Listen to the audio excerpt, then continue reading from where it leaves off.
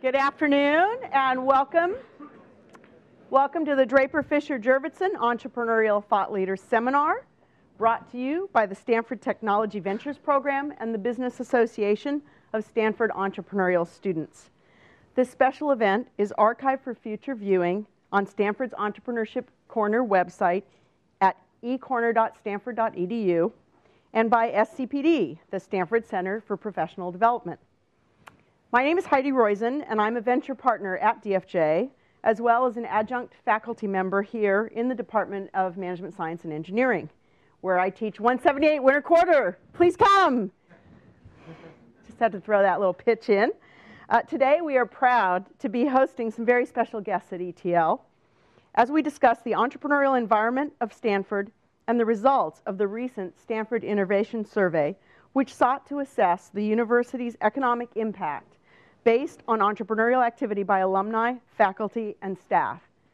And of course, we want to acknowledge and thank Sequoia Capital for generously funding the Stanford Innovation Survey. To tee up this discussion, I would now like to welcome up the authors of the Stanford Innovation Project, Stanford Innovation Report, MS&E Assistant Professor Chuck Eesley, and Professor Emeritus from the Graduate School of Business, Bill Miller, to share some of the central findings and historical context of the results from the survey. Gentlemen?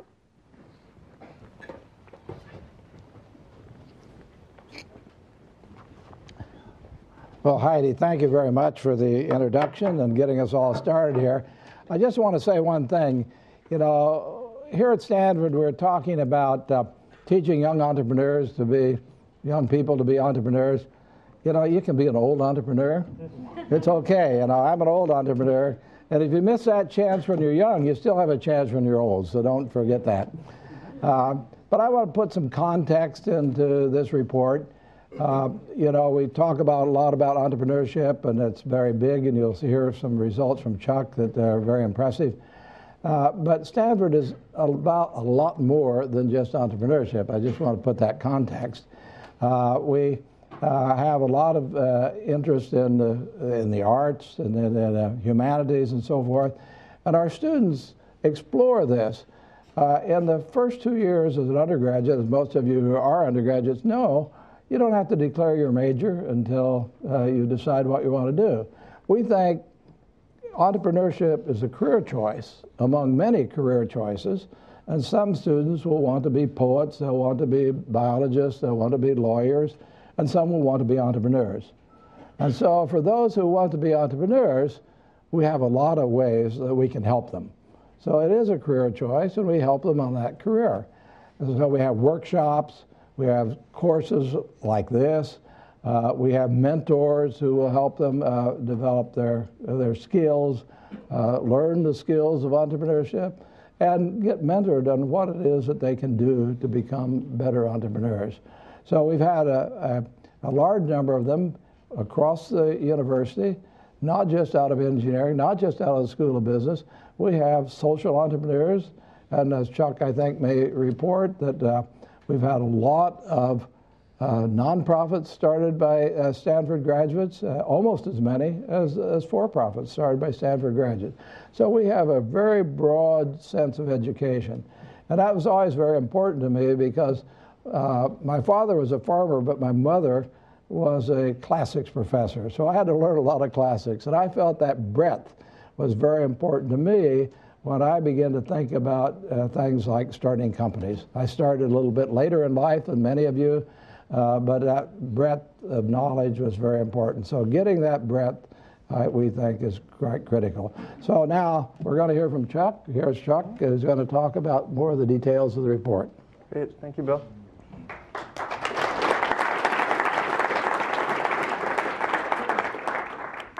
So this all started for me a few years ago when I first arrived at Stanford back in the summer of 2009. And like all of you, you start seeing these examples and hearing these stories about successful entrepreneurs and uh, alumni and faculty going on to start companies out of their research and their technology.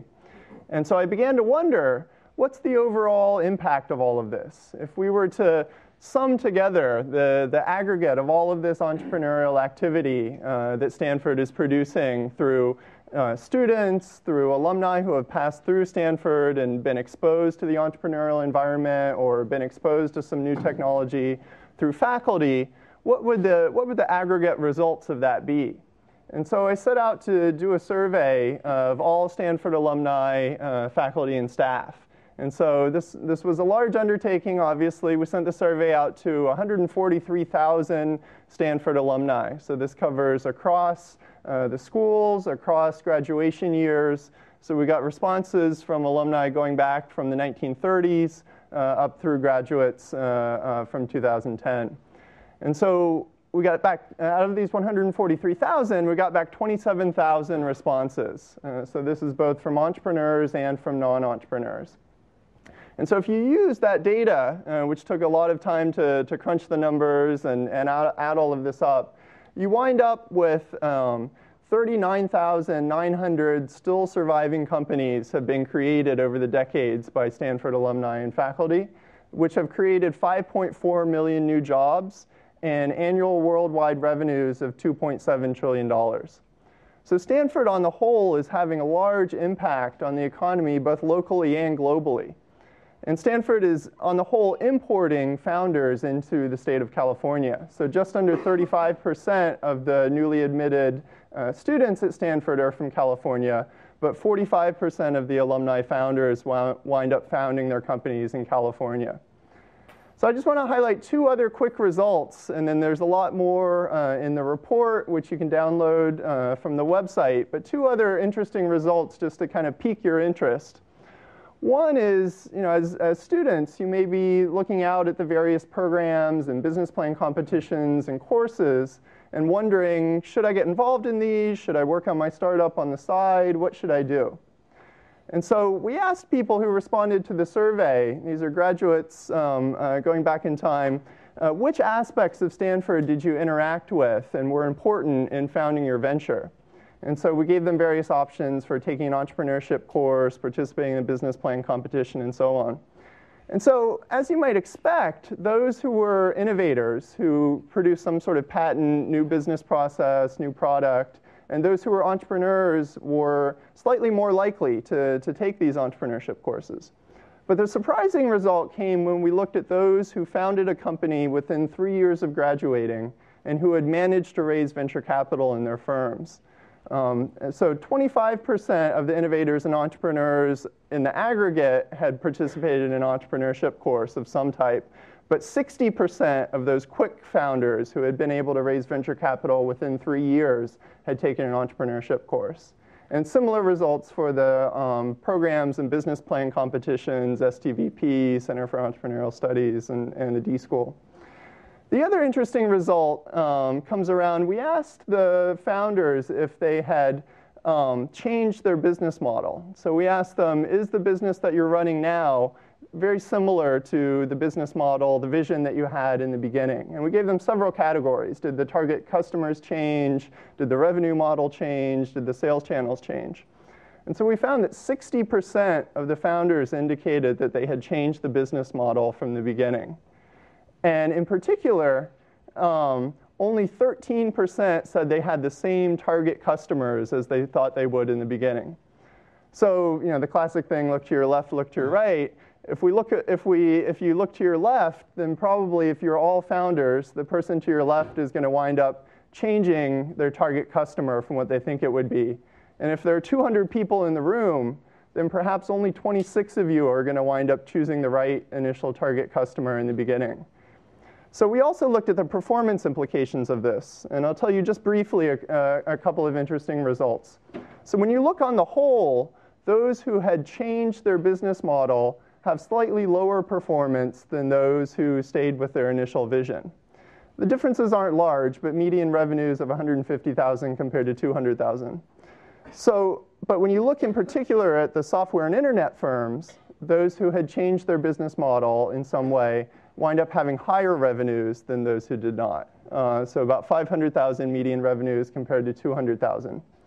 So I think that this shows that one, it's perhaps more about the insights into the correct business model that you get than about a particular number of times or, or whether you've changed the business model or not. And the second thing is that there may be some industry differences, uh, where particularly for software and internet firms where uncertainty is higher, uh, then there may be more benefit from these changes. So those are the um, quick findings that I wanted to leave you with. Um, these are uh, some of the early results. There's a lot more in the um, report that's available for download, um, and a lot more that we'll be uh, looking at as, as the research group continues with this going forward. So I'll go ahead and turn it back over to Heidi. Thank you very much. Yeah. I encourage you all to look at the report. It's absolutely fascinating. I mean, really, really amazing stuff there. So I, I think what we're going to try to do now is uh, put a personal face on the idea of Stanford and entrepreneurship and entrepreneurial alumni. And if I can ask our alumni guests to come up and uh, join me here. And uh, I think what we're going to do is we're going to try to you know, take, a, take a while to run through some questions that uh, I get to ask first because I'm up here and you're not. And then um, you guys can uh, you guys can chime in with some questions before we before we run out of time at 5:30. So uh, what I thought we'd first do is is I'd like each of you to introduce yourselves. So. Uh, my name's Kit Rogers, and I am a graduate class of 1996 in product design. Uh, anybody study product design? Oh my gosh, all CS. Okay. um, so I studied product design and uh, came here being pre med. Actually, I think who here at least came being pre-med at least? All right, a few. So um, did that, uh, was a walk-on on the football team, had never played football before, so that was kind of an interesting experience. And because of that entrepreneurial experience, um, which resulted in a lot of bruises and late nights, uh, Tom Byers uh, uh, recruited me into what became the Mayfield Fellows Program, and I ended up uh, being in the first year of the Mayfield Fellows Program. Um, I studied uh, engineering management uh, for my graduate degree, which was part of the in- industrial engineering department, and am now a veteran of four startup companies after graduating from that. Fantastic. Well, I also came here looking to be pre med, studied human biology for two years, um, and then dropped out to start a biotechnology company, Stem Cell Theranostics. Um, in the process, have also founded um, an industry-specific vertical within StartX called StartX Med to support other medical innovators coming out of Stanford. It's way more impressive than me. Um, I came starting to think I was going to be computer science, and it turns out I was computer science. Um, so I'm also not super creative. I didn't pivot. Um, I was class of 04 undergrad, 05 coterm. Uh, I also did walk onto the crew team, having never rowed in my life before. Um, that was interesting. Uh, and less, fewer bruises and more sore muscles, maybe. Uh, but it worked out pretty well. Uh, joined the Mayfield Fellows program uh, in 04. So Tom and Tina got me too. Um, one of the better things I think I did at Stanford. Um, and then actually stayed with my Mayfield internship uh, full time after school for a while at Fortify. Uh, went to Microsoft for a couple of years and then started a company with another Stanford CS grad and Mayfield fellow, Clara. Um, and we now run that company, and with the generous help of Roelof's bank account. Thanks, Steve. I'm uh, Roelof Botha. I'm originally from South Africa. I came to Stanford in 1998 to go to the business school and was attracted to come to Silicon Valley because of the promise of entrepreneurship. Um, living very far away from here, it seemed an incredible place of innovation and um, sort of a willingness to experiment and take on the world. Uh, before graduating in 2000, I actually didn't drop out, but I joined a com- little company at the time called PayPal, which was down the street at uh, on University Avenue, actually in the same office that Google had on University Ave. And I uh, worked for them part time for one semester before I joined full time, and I eventually became the CFO uh, to take the company public in 2002. And after that, I joined Sequoia Capital, uh, where I've been since the beginning of 2003. Um, invested in a couple of companies that include, uh, you know, YouTube, uh, Square, Evernote, uh, a couple of companies like that. When I checked earlier today, half the companies that I'm involved with have Stanford founders. Uh, and I've spent a lot of time coming back to Stanford University and certainly have lived firsthand a lot of the observations from the report in terms of the, this part of positive feedback cycle and loop between industry, uh, faculty, and students. Uh, and I certainly attended this class just over 10 years ago myself. Great. Thank you. And I do want to state for the record that I also was a Stanford undergrad class of 80. Um, I got my degree in creative writing. Uh, and then I went out into the workforce and I discovered that creative writing degrees were not super highly valued. Um, but but um, Tandem Computers was just getting off the ground and they needed someone to write their company newspaper. And I only bring this up because I want all of you who are getting English degrees or writing degrees to understand that it really does have value when you get out there in the real world and have to communicate. And when people say to me, you know, what's been one of your most valuable skills from Stanford, I got to tell you, writing and communicating has been tremendously valuable to me. So I did come back and get an MBA and started a company right out of business school with my brother, who was a computer science guy, although from Cal. But that's okay. Somebody has to hire them. No, God. Shouldn't say that. I know, I know, I'll get in trouble. So moving right along. Um, you know, Chuck mentioned that approximately 25% of the technical innovators uh, said that they took an entrepreneurship course at Stanford. So I'm just wondering if any of you did you did you take entrepreneurial courses at Stanford, and how do you think that influenced you in in your um, in your entrepreneurial endeavors after that? And I'm just going to throw them open, and any one of you want to say something, anybody you want to tag on, go knock yourself out. Sure. So I'll, I'll start. I did. I took this class. Um, as much as that counts as an entrepreneur class, uh, certainly entrepreneur focused, and I did Mayfield Fellows, and that was it. Um, but it, Mayfield Fellows was was three classes really, and that was huge. That was probably one of the more formative experiences for me, both at Stanford and as, and as a founder. And we go back to that today. I was telling somebody earlier, uh, I think John, as we walked in, that probably half of my best friends from college are from the Mayfield program. Um, in addition to my co-founder, um, five, four or five people at the company, and uh, and most of the people I turn to for support. Any classes? Sure, Mayfield. Fellow, also before it was called Mayfield Fellows, and um, you know, very close with my classmates there as well. So that actually very much did expose me to the world of entrepreneurship. Before that, I'm not sure I could have spelt it.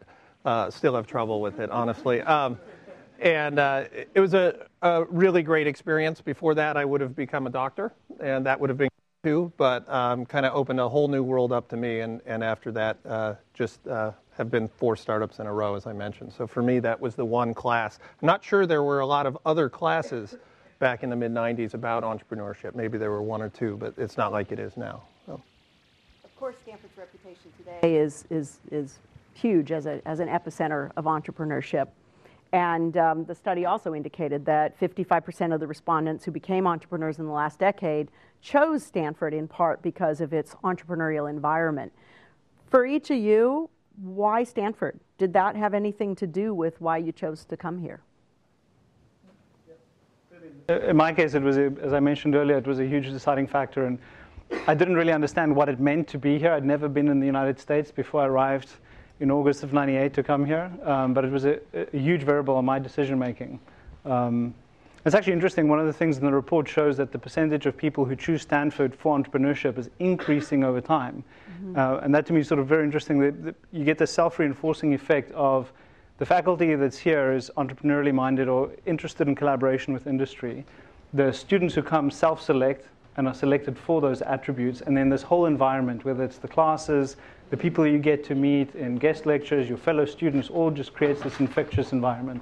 And of course, that's, that's um, mirrored in the amount of concentration of venture capital also being invested in this area. So it's a very virtuous, virtuous yes. cycle. Anyone else about Stanford? And other choices? Why you did or didn't come? Divya. Absolutely chose Stanford because of its entrepreneurial environment. I think when I applied to Stanford, I didn't really know what entrepreneurship meant. Um, but I think it's embodied, um, like it was mentioned earlier, in all the students, in all the faculty members. And to me, it, it kind of means this, this sense of being open-minded and, and this almost infectious personality type of people that just aren't afraid to take risks. So definitely drew me to Stanford. Mm-hmm. In my particular case, um, it had nothing to do with it, actually. I just kind of stumbled in here. The reason I came here, three generations of my family went to Cal, um, and so I was contrarian anyway. And Division One sports and, and uh, great academics was something I was interested in. So I came, and I think the entrepreneurial environment um, maybe wasn't as well articulated back then as it is now, but you just kind of get swept up in it, and you kind of stumble from a pre med class to product design to uh, starting companies. And, and it was just the environment that enabled that to happen. It was not a conscious decision in my case, mm-hmm. though. So. Mm-hmm. I think there's, a, there's an important variable which I haven't been able to find in the report yet, which I think explains why a lot of other people are here too, and explains the success of Stanford, which is the weather. so, the, so the funny thing was, I, I chose Stanford uh, over MIT, and I was computer science, and I wanted to do that, and it was the two options, and I, I kind of overgeneralized probably, but thought of MIT as a research institution and Stanford as a business institution, because it was the dot-com bubble when I was making my decision, and there's all these, you know, kind of guys and gals at Stanford that are in, you know, the front page of every magazine and paper, launching these giant companies that are worth, you know, billions of dollars overnight, and um, and they're being really successful in building this really cool technology that was kind of the cutting edge. And MIT was always in the paper for Media Lab and like crazy stuff that wasn't going to see the light of day for a while, but was going to be very fundamental. Um, I went and visited both. The funny thing was MIT had much better weather during Admit weekend. Great day in Boston, and it was terrible and rainy here the whole Admit weekend. But I came anyways, specifically because of the business. And I think the thing that to me it wasn't, I didn't call it entrepreneurship or understand it was at the time, but it was very much about the kind of generalist attitude of people at Stanford that was, I'm going to go do lots of different things. There were a ton of people who did really crazy academics and played sports, which I thought was really interesting. There were a ton of people who did a bunch of research and seemed to actually be having a really good time, um, in addition to working really hard. And so to me, it was actually the fact that people did a lot of mixed discipline stuff. I was really jealous that the D school started the year I left and not the beginning of it, because I thought that was one of the kind of best examples of interdisciplinary studies that, that we've done in a real kind of like way. Come back and touch on the interdisciplinary stuff in a little bit as well, because I do think that's an important part of Stanford and the Stanford experience. So, going back to entrepreneurship and entrepreneurial studying specifically, and entrepreneurs, um, when I when I was here as a business school student in the in the 80s, and my brother, uh, you know, Actually, he hired me. I will state that for the record because he'll probably watch, or he'll, someone will tell him to watch this and I'll get in trouble. So, you know, he hired me uh, in spite of my MBA from Stanford, which he felt had no value in terms of what we were doing.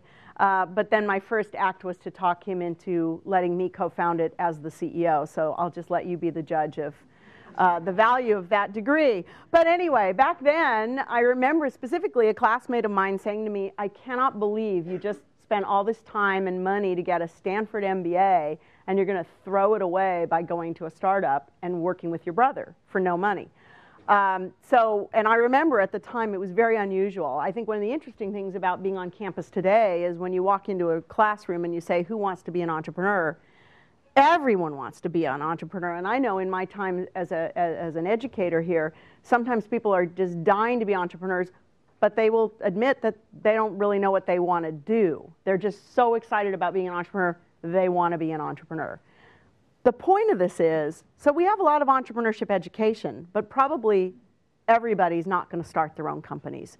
So, what advice do you have for students in terms of what is the value of entrepreneurship education, whether or not you're going to be an entrepreneur, and how should you go about navigating what you think you ought to be doing? Roelof? A first stab at that, because uh, it's something we've thought about a lot at Sequoia. It's just the number of people. Entrepreneurship is not synonymous with being a founder.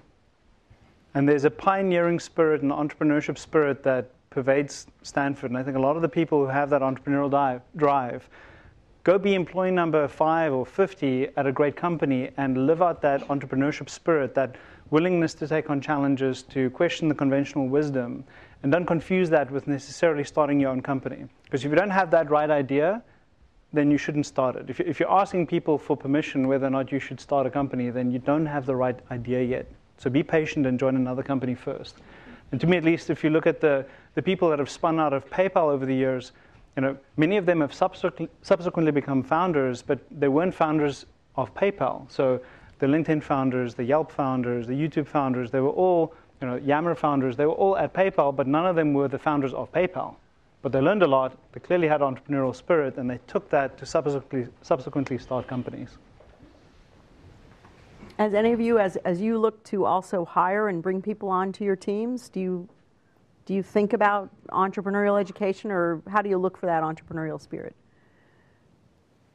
We definitely, we definitely look for it, um, and I, I can't honestly say that I think we're very good at judging it. Um, mm-hmm. Um, we talk about it, and we think about it, but it's not like we have a secret question that we ask. Um, but I mean, I think to Roelof's point, you don't have to be a founder to be an entrepreneur. and our, most of our company, all of our company at this point, about 100 people are entrepreneurs um, in the risk that they take and in the, in the way that they, I forget, Tom and Tina, please don't come up and hit me with a ruler, but I forget the definition of uh, entrepreneurship from Mayfield, but it was, had something to do with you know, basically doing extraordinary things with incredibly constrained resources. And when you think about startups, everybody in a startup has to do that for you to be successful. Um, I think the most interesting question that I've heard people ask um, that I've kind of stolen has been, why are you doing this?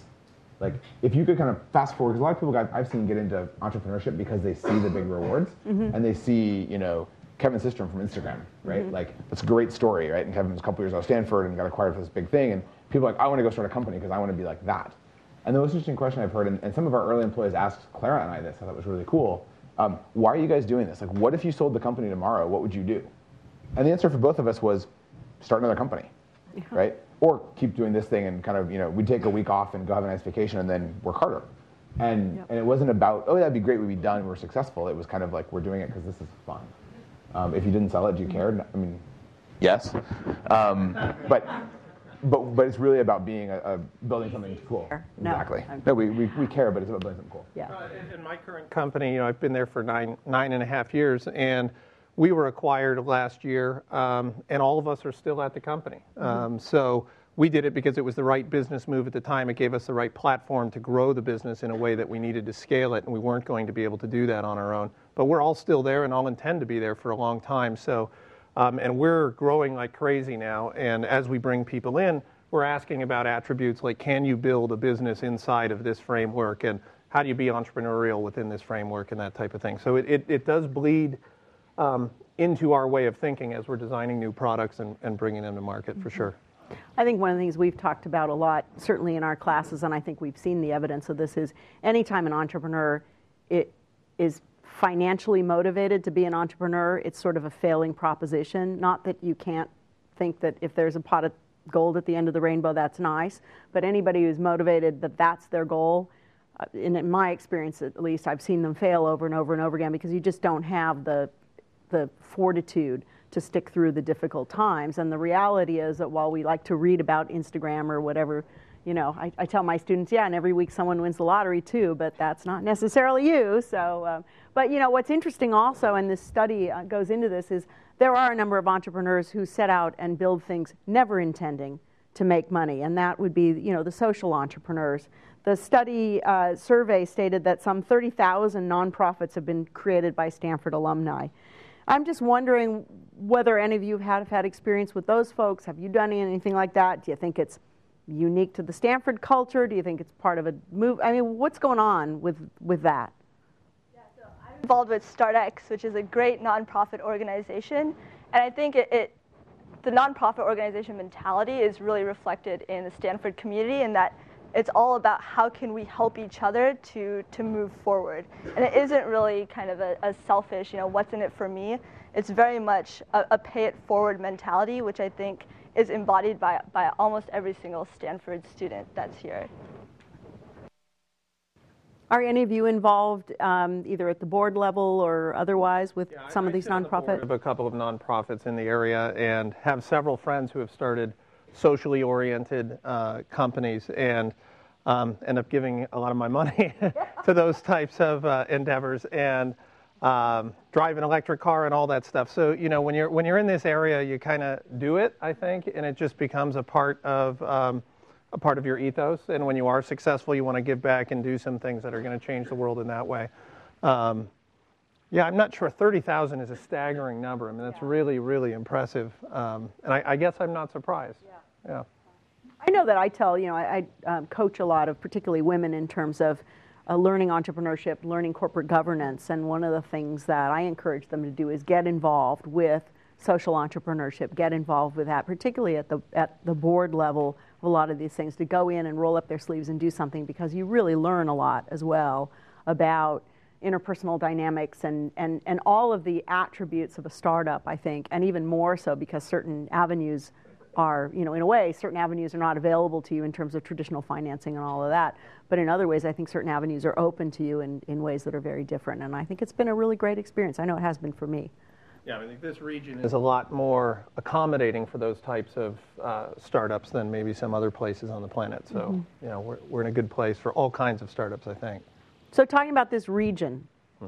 should Stanford do more for this region? Is there something Stanford should do as a member of the greater community here that it's currently not doing? Any ideas? I'll start first, and, and I don't know if this might be a controversial answer or not. I'm actually a really firm believer in kind of focus and dedication to a single mission.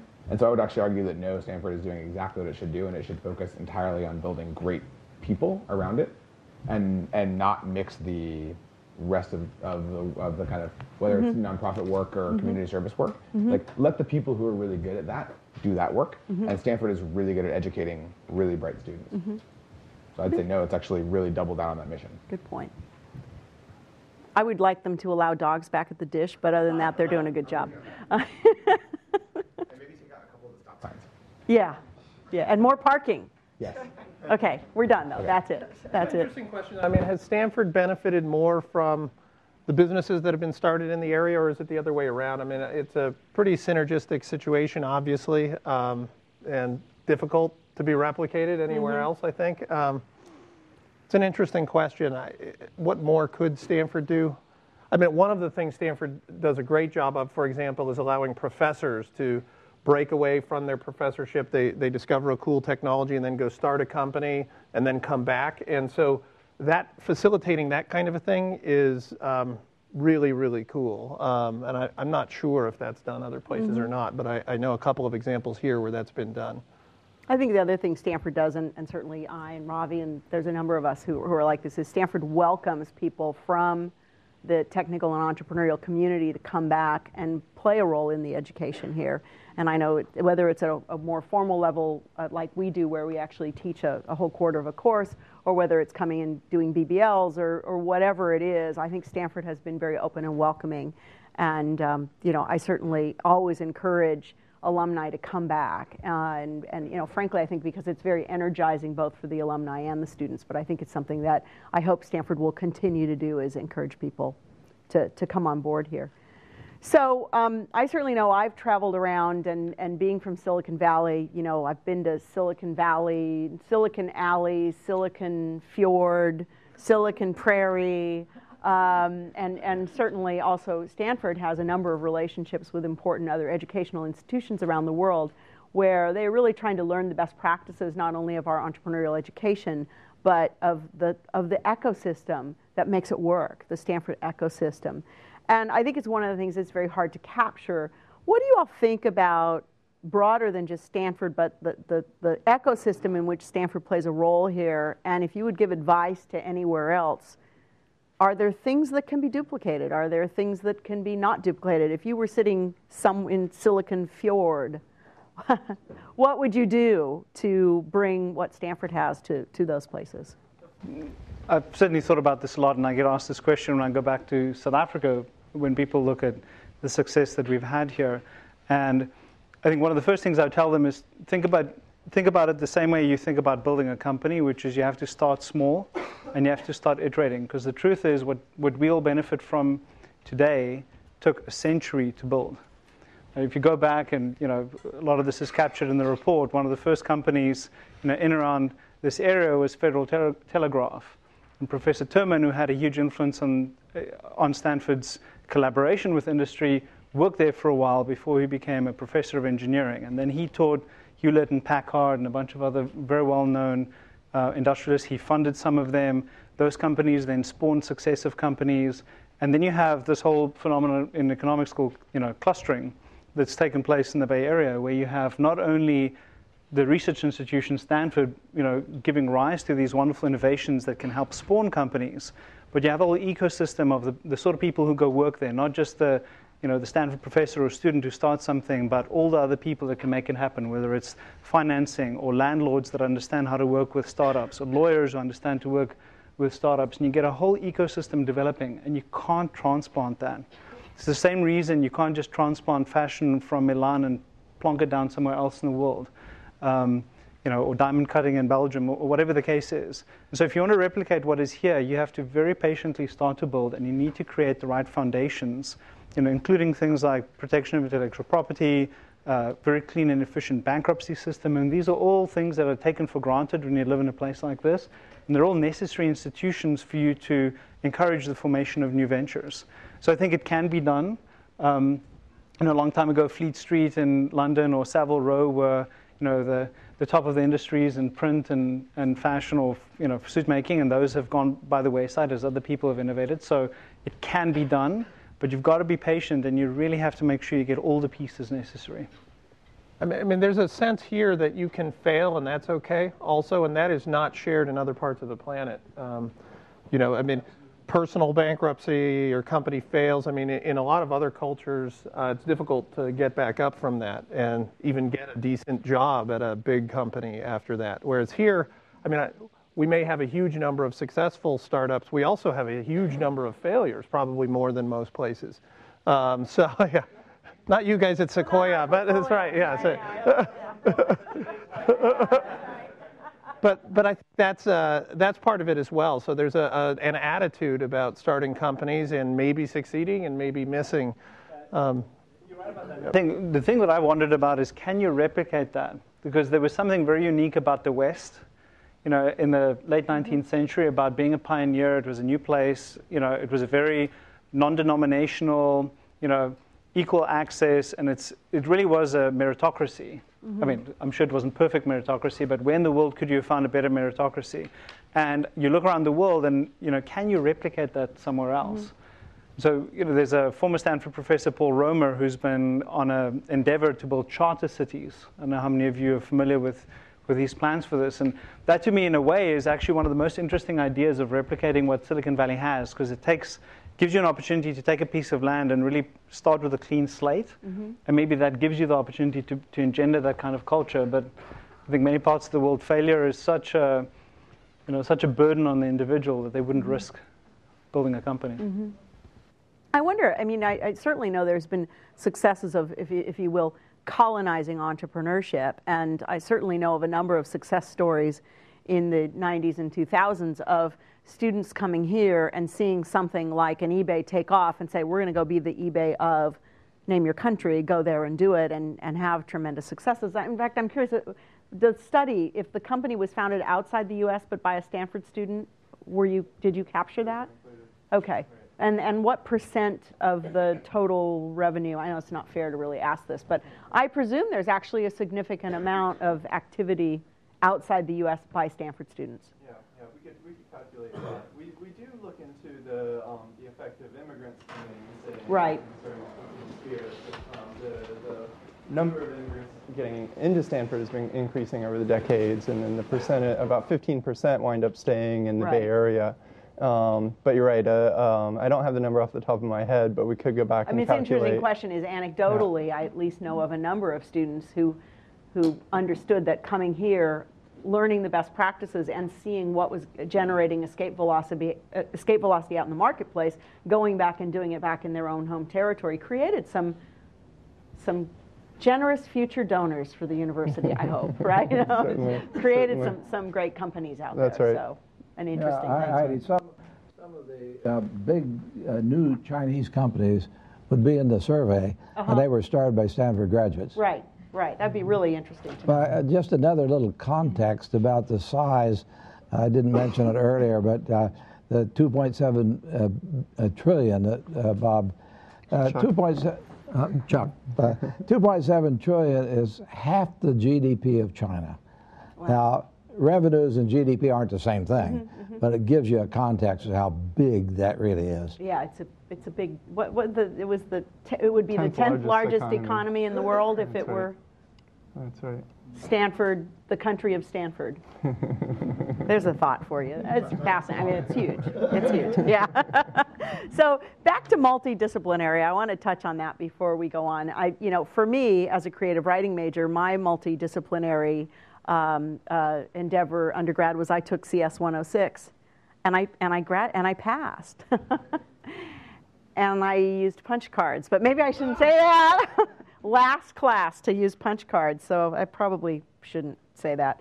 But, uh, but anyway, we, we talked about a little bit interdisciplinary and going and doing something different from your core area of focus. Um, love to hear from each of you or any of you. What was your most, what, what do you remember as your best interdisciplinary experience? I I guess I'll start. So at this, I think the Stanford School of Medicine does a fantastic job of this. It's literally mixing like surgery with computer science, with mechanical engineering. Uh, I worked at the Stem Cell Institute for two years doing research. I think, I think our most important breakthroughs and technological advancements were literally from, from other professors from other departments coming in and saying, hey, have you guys ever thought of you know, attaching electrodes to those cells? Or have you ever thought about passing a current through something? And these are just things that I, I feel like individuals are so siloed in, in their own particular research areas that in any other institution, if you didn't have that kind of cross-pollination of ideas and that constant dialogue between people, you just wouldn't get those advancements. And, and, it's physically obvious when you come here now. We were commenting before we came in. I mean, the buildings that are here that weren't here even 10 years ago, and they're all right next to each other, and they're physically facilitating cross pollination between the different departments is amazing. I mean, I studied product design, which is a hybrid of mechanical engineering and art design.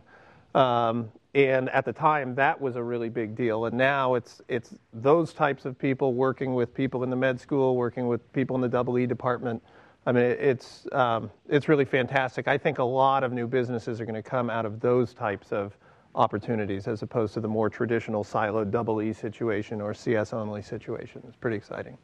Given the rigor of, of technical undergrads, I mean, did any of you really go off the grid? I mean, dance class, archaeology, touchy feely. I mean, you know. I took a I took poli sci at the time poli sci 138 was like national security strategy where we literally spent the time doing three day simulations of UN negotiations. Totally unrelated. Salsa, it wasn't quite salsa. I'm really uncoordinated, so salsa would have been bad for everybody. Which is a little unusual here, so uh, that was fun. Yeah. Yeah. Any? Yeah. Well, uh, sure. Answer the question elliptically with another example. Sure. Since I was at the business school and we were, you know, isolated across the street it was a little harder to get access to the rest of campus. But one of the companies we backed is with a Stanford graduate who got a PhD in electrical engineering, undergrad in physics, who uh, is Ashkenazi, and his sister had a child that was born with a disease that killed the baby within a week of birth in 2002. And he came back to Stanford as an associate professor, and he spent over a year reading all the biology and genomics books that he could, access to faculty, uh, and he used that cross pollination of his double E training to solve problems in biology that the biologists and geneticists didn't have the insight for. And today he has this company that enables uh, thousands of people to have healthy babies every year. Wow. And that to me is a fantastic wow. example of cross pollinating uh, disciplines to come up with breakthrough innovation. Mm-hmm. Mm-hmm. I have to say, from, from teaching here, one of the things I love about um, the course that I teach, and I know this is true many other places, is that we'll have freshmen with CS grad students with Sloan Fellows, all in the same room talking about things. Um, I really feel, you know, it's interesting because when the freshmen come into the class, there's a natural inclination to look at the guy next to you um, who's twice your age and think, oh my God, I'm at a super disadvantage here because this person has more experience. And then it turns out that the dialogue is really amazing. And so I feel like, like there's also that opportunity to to sort of cross-pollinate people from, from literally, you know, different generations at Stanford to be able to do things that are really interesting. I think it's one of the great things we have going for us here. So, um, so last question from me, and then i would love to open it up to the audience. Um, there's been a great debate today about whether the whole higher education system is even relevant, appropriate, state of the art. Um, Stanford is, of course, leading the way with a tremendous amount of online education. Uh, certainly, a, a, a, former key PayPal executive who might remain nameless has been talking about the fact that you know higher education might be obsolete, and you know maybe we, maybe maybe you should all just save your money and not stay in school. Um, that's the extreme view of that. But it is it is a question. I mean, you know, as, as I have students, uh, the the pull of Silicon Valley, the pull to go stop out, um, take time off, or take time, you know, leave, and who knows when you're going to come back. And, and there are students who always say to me, well, you know, that's what Bill Gates did, and that's what Steve Jobs did, and that's what Mark Zuckerberg did. And so And once again, I have to say, well, the chance you're going to be one of them is small, but, uh, but anyway, the point being, there is a lot of attraction to go out. There's a lot of opportunity for Stanford students to stop studying and go do something else. How do you feel about that? What would you counsel someone who's a student here? Um, stay in school, do that? What, what would you do today, and what would you recommend our students do? How different is that than, a, a than an athlete getting the same opportunity? I, it's similar, I think. It, it's, um, you know, for the right opportunity, it can definitely be worth it. So I don't, I don't think I would be one to say stay in school no matter what. And Stanford has very liberal policies about such things. So that's nice uh, in and of itself. Um, you have to be really passionate and really good at something in order for that path to make sense in my mind. You have to sort of be a bit of a savant in a certain area or, or really exceptionally skilled in a, in a particular technical area for that to make sense. For me, I know I needed as much time as I could stay here to figure it out. And I was here six years counting the co-term, and a seventh probably would have done me some good. So it was good to be here as long as I could at the time, um, but that was my pace. So. I mean, I'm obviously a little biased because I, I did stop out of school after, after the first two years. Um, I, I, do agree that unless there's the right opportunity and it's something you're really passionate about and something that if you're sitting in a classroom, all you'd be thinking about is like, I want to get back to, to that project, probably not worth it. But I will say, at least in my own experience, it's been an incredible set of other skills that I've learned um, outside of the classroom that I think are, are invaluable. And again, Stanford does have really liberal policies on coming back to school. So if the right opportunity presents itself, it's, it's definitely worth, you know, if you're willing to take that risk and, and dive in, definitely worth it. I think that's right. I've always I've had a couple people ask me this about you know should I should I stop out and do this and, and my attitude has always been I'm going to tell you no you shouldn't and if you turn around and say I'm doing it anyways then you're probably the right candidate to do this right which is like I think if, if it's really the right opportunity, you are going to be so into it and so headstrong that somebody telling you not to do it actually kind of doesn't matter. Mm-hmm. And so on the, on the flip side, if you're if you're kind of like maybe I should, maybe I shouldn't, and some random guy like me says don't do it, and you don't, probably good you didn't. Mm-hmm. Mm-hmm. Any? I think. I know, I've met many of the companies that are endeavoring to upend the education system and um, familiar with Khan Academy and you know, I love what they've enabled in terms of you know, providing that sort of education at your fingertips. Again, having grown up in you know, a country very far from here, it's wonderful to sit in Cape Town and be able to you know, observe the lectures and learn from the best minds in the world in whatever your chosen discipline is. Um, and I'm sure there's some changes that should be made at the margin with your standard curriculum and, and course of education, because if you go back to you know, the Renaissance, the teaching was essentially the same with you know, literally, if you see pictures of what lectures look like uh, 400 years ago, 300 years ago, they, ha- they haven't really changed. Clearly, there's an opportunity to incorporate technology to make it different. Um, but I'd argue the, the biggest opportunity is, is post leaving a university. It's the continuing education where I think is, is probably the biggest opportunity because so many people stop learning when they're 22 or 23 and they graduate. And that, you know, that's terrible when you think about your whole lifetime and people just get stunted. And I certainly got a lot of satisfaction mm-hmm. out of taking one of the computer science classes that were offered through Stanford um, last year, the mm-hmm. machine learning class. I had a had a blast taking the course and programming again. It was just it was fun to be able to to test your limits, and I wonder whether that's the real opportunity mm-hmm. long term. I think that the other subtle thing that often gets missed when you just look at um, you know could you learn faster you know, could, could we all be in an accelerated program, skip summers, and you know, just blast through your curriculum as quickly as, as you can? But what about all those other social things that you learn along the way? Your ability to relate to others, your ability to work in a, in a group as a team, to assume leadership, to be, to be led, to negotiate with others, because those are the sort of interpersonal skills that are hugely important to your success down the road. I mean, you're a business school student as well. The classes that have stuck with me the most a decade later have been the softer classes, things around leadership and human resource management and motivation um, very subtle things around how to get the most out of people. Mm-hmm. I think to follow on on that, I think entrepreneurship is a is a team sport for the most part. And if you look at the founding teams, the particularly successful ones, very often they met at Stanford or met at their places of, of education. If you hadn't been in the room with the other person all that all those times, would you have started a company with them? And I, I, think it is it's one of the interesting things I hear from the online entrepreneurs is how do I meet my founding team members because they don't have that experience. So I mean I think it's fantastic what Stanford is doing and the innovation that Stanford is trying to progress and, and doing it so much of it at no cost to the to the greater and to the world community and it's a really incredible thing. But I would argue that for students um, this is my stay in school kids message. Uh, but, but my argument is I think Stanford is really intelligent to have a very lenient stopping out thing. But there's a point at which you've stopped out too long and you can't, and you sort of, you just can't do it anymore. Uh, so I would just encourage people that I think that the connections that you make here, the relationships that you build here, the type of learning that happens, and you know, I, I, do believe the degree has value in many other ways as well.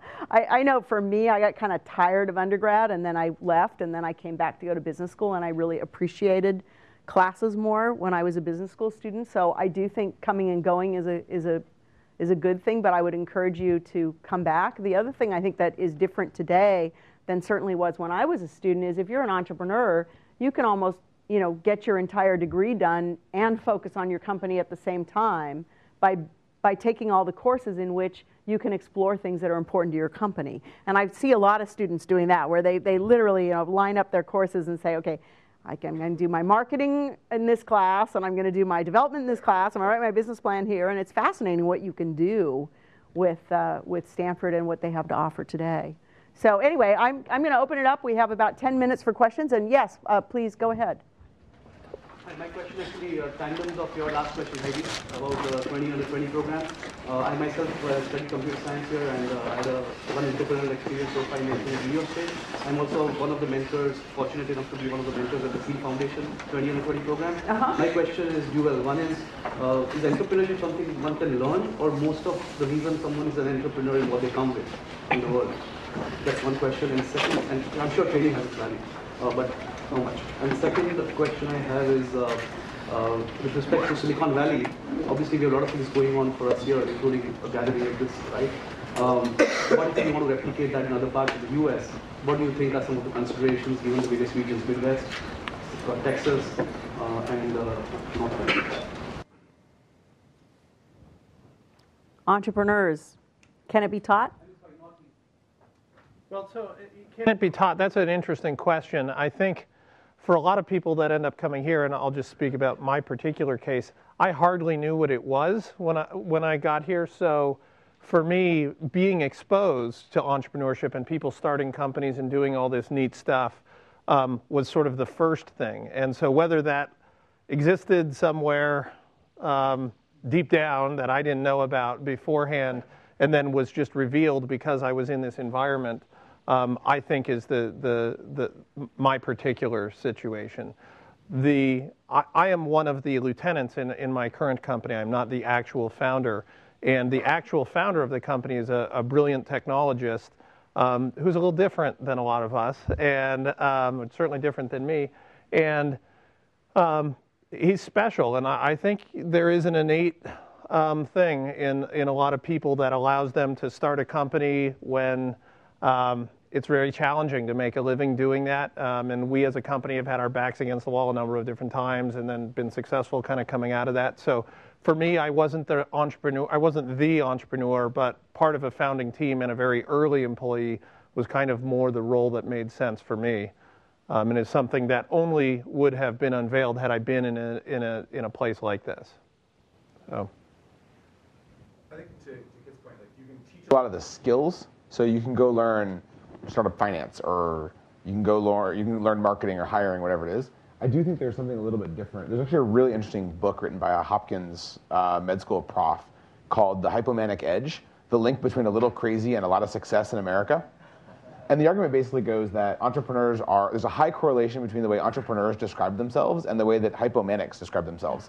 And hypomania is basically a, it's basically a reduced version of manic depressive disorder. Um, it's a really interesting study. Um, but it basically says it's things like the ability to operate on very little sleep and lots of energy and the ability to kind of consistently be told no and not believe that you're wrong, which, by the way, could be a really good or a really bad thing.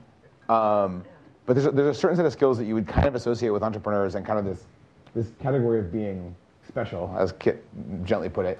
Uh, most people would just call it crazy. That I don't know that you can teach. Um, so I think there's kind of some qualities that are, are very inherent and just you either have them or you don't. And it's not a good or bad. It's just different. And there's a bunch of things you can very much learn about it.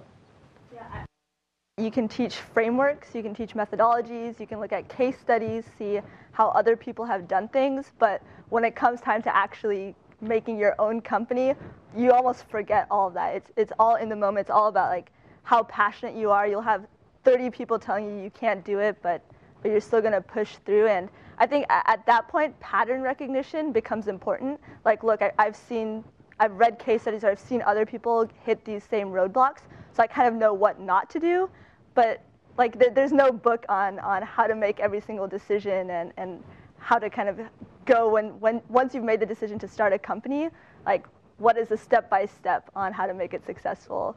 There are a lot of great entrepreneurs out there who I'm sure are not in places in the world where they have the ability to go out and start a company. I mean, the best pianist in the world may never have seen a piano, right? So, um, who just has that innate capability inside of them. So, you know, making sure that you're getting exposed to and aware of the ability to start a business, um, that's an important first step, obviously. It's actually really. I was just thinking about this. I don't know if they still do it. When I got my acceptance letter to Stanford, it came in this folder, and the front was printed something along the lines of, for all the nights you stayed up late to get something done, for all the nights you didn't go out with your friends to finish, to go the extra mile on that project, blah, blah, blah.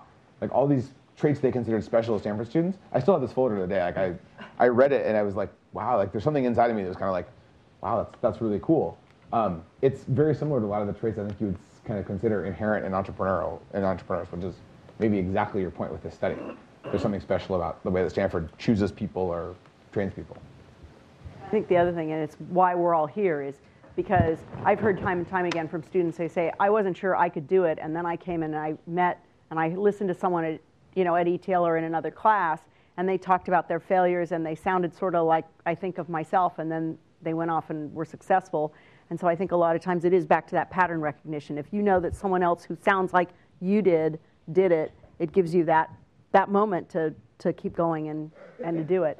I, I want to say before we run out of time that you can find the study at bit.ly uh, slash Stanford Innovation Study.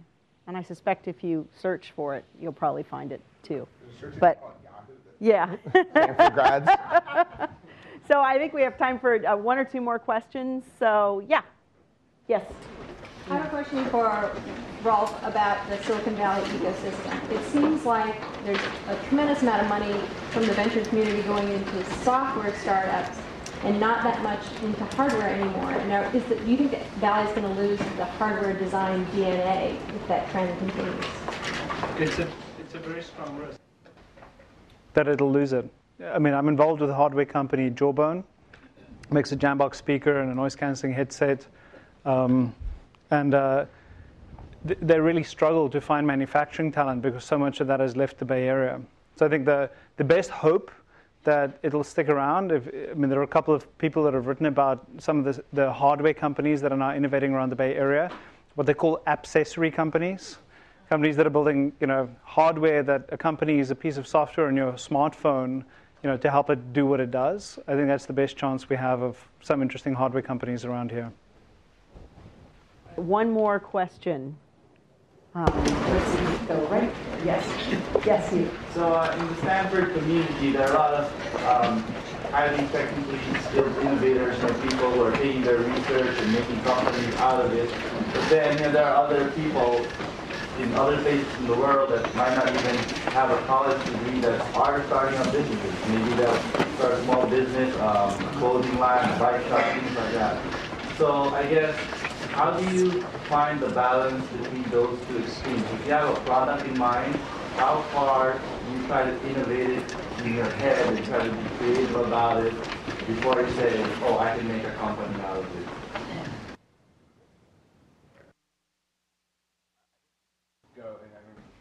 the way that we've done it, you go as fast as you can and go try it in the market, right? And this is whether you read Eric and Lean Startup or um, one of the 37 Signals guys, Jason Frieder, David Heinemeier Hansson, once said that if you look back at the product you launched originally and you're not embarrassed, you waited too long to launch it. Right. The market's always right. So I think you you go and you try to innovating in your head is kind of easy and fun in a way, but it, it doesn't really tell you the truth. It just tells you what you think. So I'd say go do it. And you're right. That's the interesting question about training. There's a lot of people who are entrepreneurs who have no formal training in it whatsoever. Um, I think it can make it easier or better for you. Just Stanford and, and, and Silicon Valley certainly hasn't cornered the market on entrepreneurship. I mean, it's alive and well all over the world. Our, our, our society and our cultures were based on it. And I mean, I think we shouldn't, as, as well as, as Stanford has done, let's not lose sight of the fact that competitive is, competitiveness is global at this point, and there's lots of really exciting things going on.